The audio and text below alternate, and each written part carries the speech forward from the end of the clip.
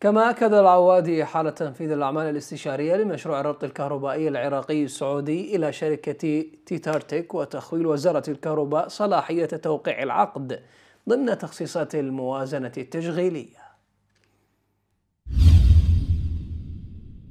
إحالة تنفيذ الأعمال الاستشارية لمشروع الربط الكهرباء العراق السعودي إلى شركة تتراتك لحصولها على أعلى درجة تقويم فني ومالي بكلفة إجمالية مليون وثمانية وثمانين ألف وستمائة واثنين وخمسين دولار.